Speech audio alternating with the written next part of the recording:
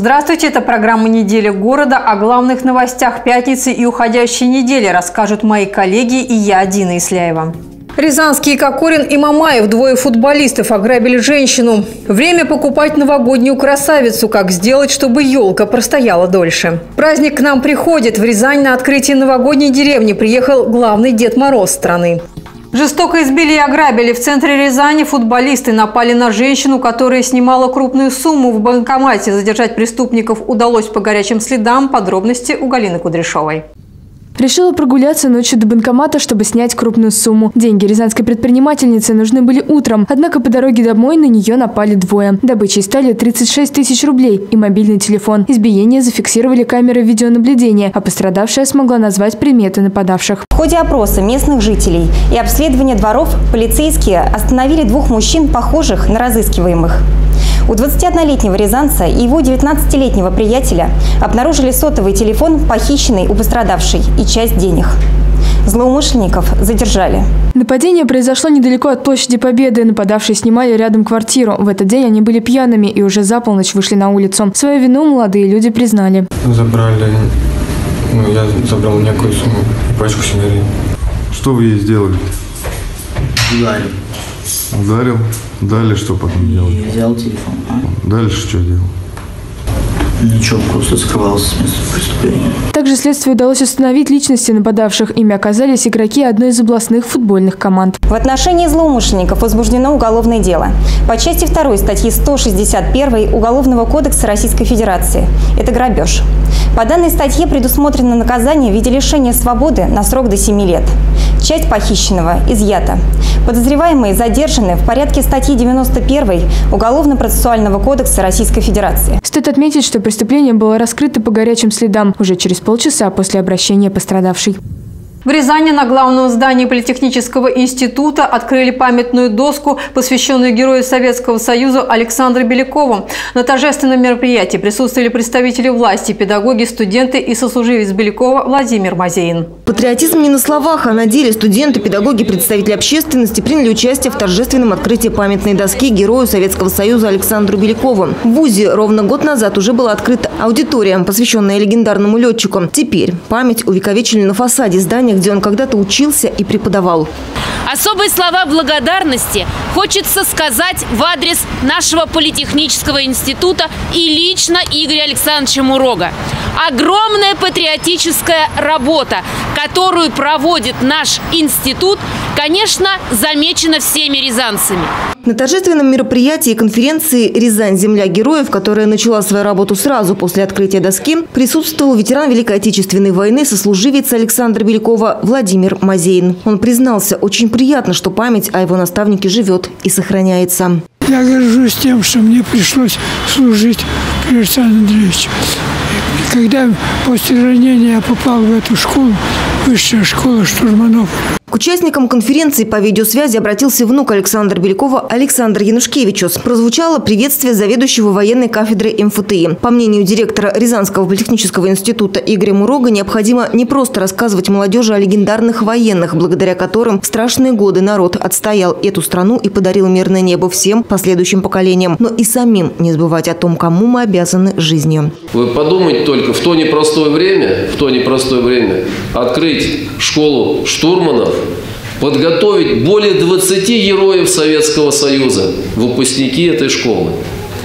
Более 400 экипажей боевых самолетов. Еще одним примером мужества и чести стал приглашенный гость, герой России Святослав Голубятников. Он был участником военных действий в Афганистане и Чечне. И не понаслышке знает, что значит родину защищать. Он говорит, был воспитан на примере таких людей, как Беляков. Александра Васильевича Белякова, как и Байдукова и Чкалова, мы все знали с детства, то есть когда еще учились в школе. Про таких, как Александр Беляков, снимали фильмы и писали рассказы. Он служил вместе с Чапаевым. Легендарные личности, на примере которых выросли новые поколения героев. Рязанский политех знакомит именно с ними. Мария Рудая, Станислав Кудряшов, телекомпания «Город». 28 лет исполнилось сегодня со дня основания пенсионного фонда. В Рязанском отделении подвели итоги работы за год и рассказали о предстоящем повышении пенсий. Отделение пенсионного фонда по Рязанской области обслуживает более 380 тысяч пенсионеров. Ежегодно расходы на выплаты пенсии увеличиваются. В этом году они превысили 70 миллиардов рублей. Фонд предоставляет более 25 видов государственных услуг, обслуживает федеральных льготников. Специалисты занимаются ведением индивидуальных лицевых счетов. До 2022 года продлена программа материнского семейного капитала, которую также реализует пенсионный фонд. Отделением с начала действия программы выдан уже более 162 тысяч государственных сертификатов. А общий объем средств, который мы выплатили на материнский семейный капитал за, с 2007 по сегодняшний день превышает уже 15 миллиардов рублей. Ежегодно в пенсионном фонде увеличивается процент услуг, предоставляемых через электронные сервисы и бесплатные приложения для смартфонов. С 1 января 2019 года на 7% будет произведена индексация страховых пенсий неработающим пенсионерам и на 25% увеличится размер фиксированной выплаты к страховой пенсии. Дина Исляева, Игорь Глотов, телекомпания «Город». Один из главных символов Нового года – это елка. Вот только как выбрать лесную красавицу и сделать так, чтобы она простояла дольше, расскажет Валерий Седов. Обычно покупатели выбирают живую елку по нескольким критериям. Во-первых, она должна быть пушистой как снизу, так и сверху. В таком случае елка простоит куда дольше. Во-вторых, следует обратить внимание на иголки. Можно даже понюхать, ведь из-за ощущения праздника люди покупают елки настоящие. И как раз есть место, где лесные красавицы соответствуют всем критериям. Наши елочки э, срезаны совсем недавно вот, что позволяет возможность им дольше храниться. Наши елочки э, самые пушистые в городе. Я ездил, смотрел по городу, то есть наши самые пушистые. Кирилл Чернышов рассказал, что елку не стоит сразу заносить в квартиру. Нужно дать ей постоять час или в подъезде, или на балконе, чтобы не было резкого перепада температуры. Тогда она простоит на порядок дольше. На торговой точке представлены елки высотой от полутора до двух метров. Цена за такую от 999 рублей. И при покупке есть несколько бонусов. У нас осуществляется бесплатная доставка, то есть вы можете прийти к нам на точку и выбрать любую елочку, и мы доставим ее до вашего дома совершенно бесплатно. А также бонусом мы отправляем на вашу электронную почту видео поздравления, именное от Дедушки Мороза для вашего ребенка, совершенно бесплатно. Все елки прошли карантинную проверку, притом красавицы эти не рязанские. Кирилл рассказал, что местные елки хлипкие, и иголки с них осыпаются очень быстро. Весь ассортимент представленный здесь из Перми. Кирилл признался, что на качестве они не экономят экономят. Такую красоту отмечают и люди. Красивые елки, красивые. У нее есть объем, я думаю, хорошо будет смотреться. Очень-очень симпатичные, естественно. Как бы такие все масштабные. Они все такие яркие, такие пышные. Видно, что пушистенькие, ровненькие. Все вроде на месте, иголочки, как положено, как в лесу. Торговая точка расположена у ТРЦ «Премьер» справа от главного входа. Притом не обязательно на место приезжать. Можно заказать доставку по телефону, описав необходимые параметры. И елку доставят вам домой совершенно бесплатно. Валерий Седов, Станислав Кудряшов, телекомпания «Город». Теперь к итогам недели. С 8 рублей до 11 взносы на капитальный ремонт поднимут почти на 45%. Целесообразно ли это и как к такой идее отнеслись рязанцы в нашем следующем сюжете? Жители многоквартирных домов теперь будут платить за капитальный ремонт больше. С 1 января тариф увеличится практически в половину. И такая сумма за один квадратный метр сразу выведет Рязань чуть ли не в лидеры по стоимости. Мы проанализировали, как э, выглядит э, стоимость взносов э, в других регионах России и пришли к выводу, что в Рязанской области даже сейчас действующий тариф 8 рублей 2 копейки с одного метра, он выше, чем, ну скажем так, у наших ближайших соседей. Ниже тариф во Владимире 6,50, ниже тариф в Тамбове, там, по-моему, 6,70. До самого дорогого региона Москвы, конечно же, не добраться. Там и сумма повыше, и качество жизни, и обслуживания. Министр ЖКХ и ТЭК Андрей Горелов и директор региона регионального фонда капремонта Марина Бондарева объяснили такой скачок цен тем, что, цитата, «увеличение тарифа будет способствовать выполнению программы и финансовой устойчивости областного фонда капремонта». Напомним, что на данный момент дефицит бюджета регионального фонда 4 миллиарда рублей. И одна из причин, по словам Андрея Горелова, это низкий тариф на капитальный ремонт. Рязанцы такой рост тарифа не поддержали. Это слишком много, конечно. Нам, пенсионерам, блин, это тяжеловато. Вы знаете, мы, наверное, не доживем, пока в нашем доме сделают капитальный ремонт. А такие деньги мы платим, что и зарплата маленькая, и пенсия маленькая. Поэтому я абсолютно отрицательно. Надо расходовать те средства, с умом, которые есть. Знаете, от нас это не зависит. Поднимут, значит, будет платить. Пенсионерам нужно бросать все, уезжать в деревню, сдавать квартиру, потому что невозможно жить. Это у нас только лишь бы поднять а не, не снизить. Все бы ничего, если у рязанцев вопросы не вызывало само качество такого ремонта. Печатные и телевизионные СМИ не раз делали репортажи о подобных случаях. Обращались к капремонт, звонили. Все, подрядчик вчера пришел, вокруг обошел и ушел. Ничего не делают. Уже месяц, наверное, не делают ничего. У всех течет. Вот у соседа обвалился потолок, у соседей это треснул это потолок.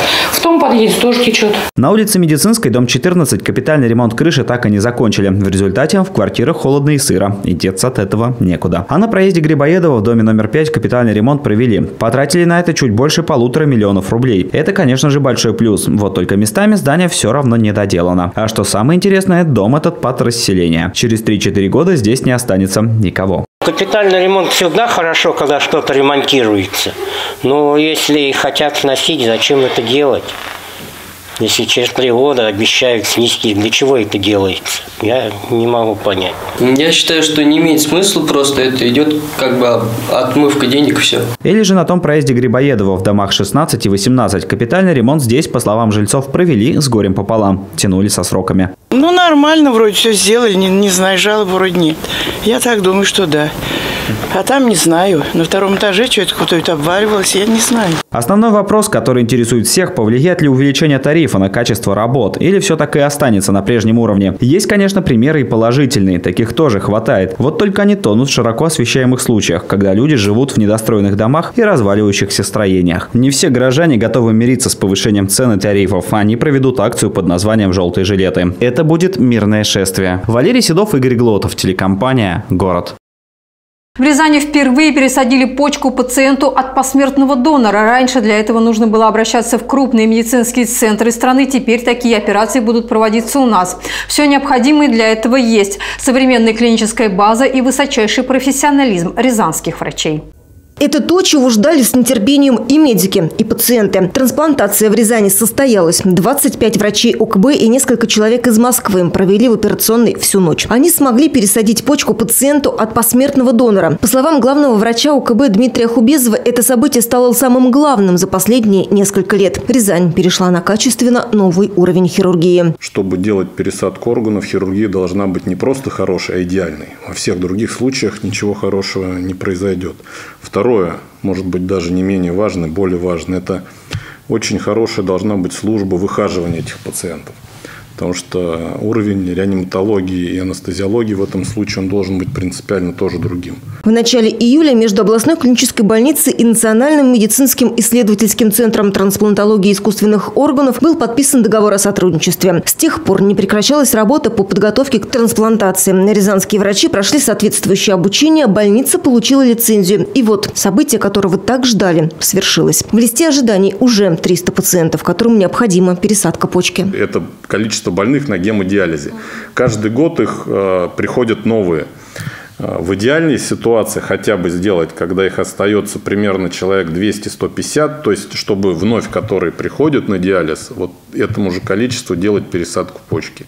Особенно это преддиализные больные. Для того, чтобы проводить операции по трансплантации, необходимо учесть множество факторов, среди которых совместимость пациента с донором. Серьезное внимание, по словам Дмитрия Хубезова, будет уделяться родственной трансплантации. А пока главная цель достигнута. Операция проведена. Пациентке 39 лет. Сейчас она находится в отделении интенсивной терапии. У женщины была хроническая почечная недостаточность с сопутствующими заболеваниями. Ей приходилось ездить на гемодиализ три раза в неделю. По словам главного трансплантолога региона Дмитрия Карпова, который непосредственно принимал участие в операции, теперь женщина сможет жить нормальной жизнью. Это даст ей свободу, это даст ей возможность передвижения. Мало того, я хочу вам сказать, что э, есть в мировой практике случаи, когда люди рожают ни одного и двух детей. И после трансплантации органов э, находится на заместительной почечной терапии, в частности, вот именно э, после трансплантации почки и 30, и 35, и 40 лет. И люди после трансплантации ведут полноценный образ жизни. Это первая операция, но врачи уверяют, далеко не последняя. В ближайших планах провести в стенах УКБ трансплантацию печени. Для этого есть клиническая база, а самое главное – золотые руки врачей, которые помогают жить и дают надежду. Мария Руда и Станислав Кудряшов, телекомпания «Город». Рухнуло около 100 мостов. Это статистика по России менее чем за год. Главные причины – превышение допустимых нагрузок, старение сооружений и плохое содержание. Сейчас, по данным Росавтодора, пятая часть из более чем 40 тысяч мостов страны находится в неудовлетворительном состоянии. Мы выяснили, есть ли угроза для Рязанского моста через Акум. Работа по реконструкции дорожного полотна освещала, наверное, каждая СМИ в городе. А вот под мост не заглядывал никто. Так что же здесь происходит? Давайте выясним. Как говорят эксперты, узнать прочность моста моста визуально можно взглянув на его опоры. Это большие бетонные колонны, которые выдерживают весь вес, а нагрузка на них падает колоссальная. Мост на Солочу закончили строить в 1972 году. Строительство заняло 4 года. И с тех пор этот путь является важной городской артерией. О дальнейших работах на мосту неизвестно. Из сообщений в средствах массовой информации стало понятно, что к 2006 году трещины на опорах стало видно невооруженным глазом, а из бетона уже виднелись куски арматуры. Поэтому вскоре начался ремонт. Э, действительно, в 2009-2010 году проводились ремонты на этом мосту, но они проводились именно на несущих конструкциях, на самих вот несущих балках. Мы их также ремонтировали, да, укрепляли, ремонтировали то, что там оголенная арматура уже была, да. С тех пор прошло несколько лет. Время взяло свое. Местами заметны трещины. Правда, эксперт поспешил успокоить. Защитный слой не отвалился. То есть нет ржавления конструкций арматурных. Те, которые как каркасов, арматурных каркасов. Это уже финишная обработка. Здесь то есть идет протекание, либо здесь вот исходя из этого где-то скорее всего желоб, который вода бежит. Обыкновенное намокание как бы бетона, то есть в данный момент здесь ничего страшного нету. Вадим Киселев судил о состоянии моста по фотографиям со съемок. Для того, чтобы вынести лучшее решение, нужна лабораторная экспертиза неразрушимым способом. Второй важный аспект – сами опоры. У нас не, нету рыжих пятен. Рыжие пятна образуются в связи с тем, что отскакивает, э, отваливается, отскакивает защитный слой, это как минимум 5 сантиметров до арматурного каркаса. Здесь у нас защитный слой не отвалился, ржавых пятен не видно и даже не видно намокания. Поэтому в данный момент вот эта вот колонна, по крайней мере вот эта, никаких опасений не вызывает. Конечно, все эти суждения выносятся без экспертизы. По словам специалистов, за мостом должны постоянно следить. Люди, которые делают обходы и обращают внимание на трещины и намокания. На опорах они начнут идти именно с углов. Это и будет первым звонком. Тогда работы по реставрации необходимо начать как можно быстрее. И что примечательно, на движение по самому мосту они никак не повлияют. Валерий Седов, Станислав Кудряшов, Игорь Глотов, телекомпания «Город». Ремонт в подарок на Новый год. 79-летней женщине-инвалиду, в квартире которой произошел пожар, помогают общими усилиями. Стараниями администрации города привели в порядок комнату, а студенты и неравнодушные рязанцы занимаются кухней и ванной квартире, где проживает женщина-инвалид и сын, который не может отойти от больной матери ни на шаг, произошел пожар. Сделать своими силами ремонт семья не смогла. О проблеме написали неравнодушные люди в соцсетях. Сейчас Мария Кожухова в госпитале для ветеранов. Ее уговорили туда переехать на время ремонта. Женщина не может передвигаться самостоятельно, а там о ней позаботятся и подлечат. Из комнаты вынесли старую мебель, убрали мусор. Сейчас и не скажешь, что в квартире произошел пожар. Силами администрации города была отремонтирована комната. Проведен был косметический косметический ремонт, поклейка, поклевка стен, натяжной потолок, линолеум, установка пластиковых окон. Ремонт идет с 10 декабря. За это время здесь собрались неравнодушные рязанцы. Девушки помогают разбирать вещи, наводить в порядок. Мужчины выполняют основные работы. У нас есть Никита отвечает за строительство, то есть он все делает сам. Вот Дмитрий, сейчас, который делает ванну, он сантехнику, то есть все он делает, все на нем. То есть это все неравнодушные люди тоже. Они ни за деньги, ни за что. Впереди еще большая часть работ. Предстоит полностью заменить коммуникации, установить новую сантехнику. Дефицита средств нет. Денег удалось собрать достаточно достаточно, не хватает рабочих рук. Добровольцы находятся в квартире практически с раннего утра до позднего вечера и будут рады любой помощи. Дина Ислеева, Игорь Глотов, телекомпания «Город».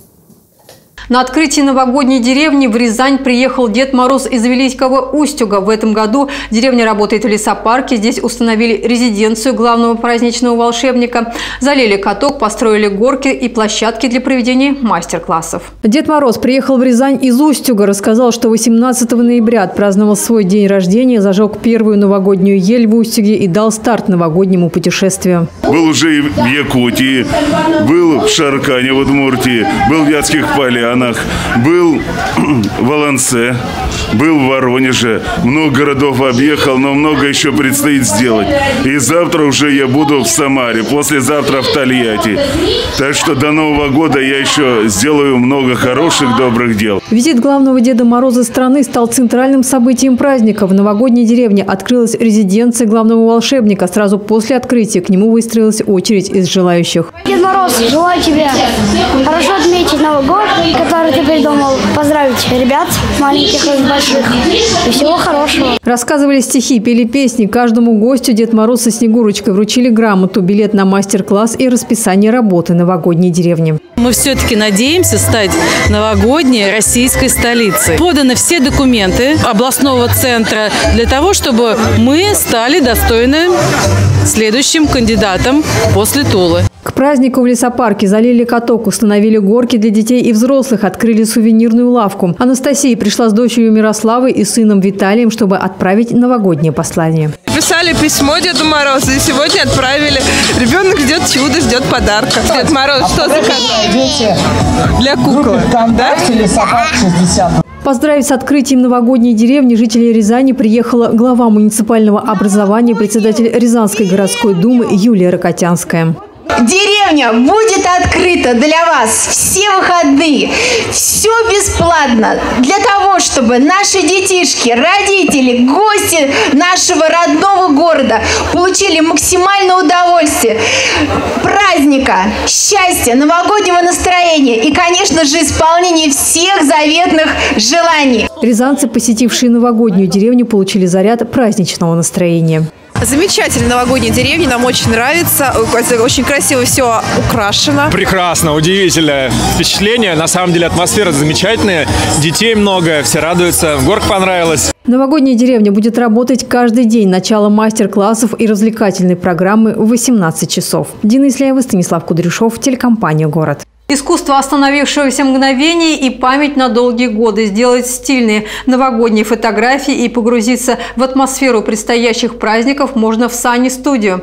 Пять новогодних локаций и более десяти тематических помогут реализовать любую идею, а богатая коллекция костюмов и аксессуаров смогут создать полноценный образ. В Рязани открылась Сани Студия. Она расположена на Славянском проспекте, дом 3. Интерьеры вдохновят даже самых взыскательных гостей, ведь они созданы с любовью и большим вкусом. Желающих сделать атмосферные фотографии ждут пять неповторимых новогодних локаций, каждая из которых отличается размахом и продуманностью деталей. Крылечко в деревенском стиле поможет создать теплые, уютные зимние фотографии, как в гостях у любимой бабушки или в загородном доме. Прекрасное дворянское крыльцо подойдет для фэшн-съемок и фотографий в роскошных нарядах. Детям особенно понравится побывать в гостях у Эльзы, где их ждет снеговик непоседа Олаф и ледяной трон, а также познакомиться с очаровательными кроликами. Дополнит картина локации с уютным камином и стильными елками в синих и фиолетовых тонах сторонах. Сани Студио – это огромное количество локаций в одном месте, что позволяет воплотить самые смелые идеи, не тратя времени на переезды, а значит создать разнообразное красочное портфолио и примерить множество образов. Помимо новогодних интерьеров, гостей ждут более 10 тематических зон. Нежные розовые тона для воздушных невест, двуспальная кровать для чувственных образов, каменные стены и кожаные диваны для настоящих мужчин, а также роскошный интерьер в стиле стимпанк, богатые черно-золотые тона, современная кухня для легких утренних образов или страстных фотосессий с любимым любимым. Сани Студио – это модные локации, современный дизайн и качественное оборудование. Декорации обновляются каждый сезон и к памятным датам. Ко Дню всех влюбленных, Дню Победы, 1 сентября, Хэллоуину и многим другим. Хотите дополнить образ стильными аксессуарами или тематическим нарядом? В Сани Студио огромная гардеробная. Платья и костюмы для взрослых и детей, модные современные и исторические модели. Также в Сани Студио вам помогут провести фотосессию под ключ. В команде есть стилист, который подберет прекрасный образ для съемок, сделает прическу и макияж, а штатный фотограф создаст живые и насыщенные кадры. Стоит отметить, что в распоряжении фотографа большой выбор освещения, несколько софтбоксов, направленный свет и рампа. Также студия оборудована полноценными туалетными комнатами с душевыми кабинами. В Сани Студио можно воплотить в жизнь любые задумки. Она находится по адресу Славянский проспект, дом 3. Бронирование по телефону 8 900 910 02 28. Галина Кудряшова, Станислав Кудряшов, телекомпания «Город».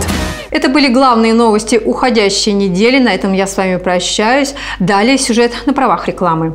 22 декабря в Рязани у гипермаркета Европа-47 впервые пройдет новогодний фестиваль огня и света от арт-проекта «Вместе зажигаем» из Санкт-Петербурга. Огненное шоу под открытым небом по праву считается одним из самых динамичных видов искусств и в последнее время набирает огромную популярность во всем мире. В течение часа гостям фестиваля предстоит увидеть световые номера и огненное шоу со сложными трюками и элементами театрализации. Помимо зрелищной программы, гостей фестиваля будут ждать веселые конкурсы и интерактивы от ведущего, фотозона и волшебные светящиеся шары. Не пропустите! Новогодний фестиваль магии огня и света приедет в город впервые только на один вечер. Уже в субботу начало в 19.00. Площадка перед гипермаркетом Европа-47. Мама спит, она устала. В пробках два часа стояла. До работы далеко, добираться нелегко. Каждый день ее я жду. Грустно мне бывает, потому что мамочки мне очень не хватает. А папа наш пришел с букетом и сказал нам по секрету. Будет времени в запас. Переезжаем в Еврокласс. Это в центре, здесь все рядом. Всей семьей мы очень рады. Хочешь стать одним из нас? Заселяйся в Еврокласс.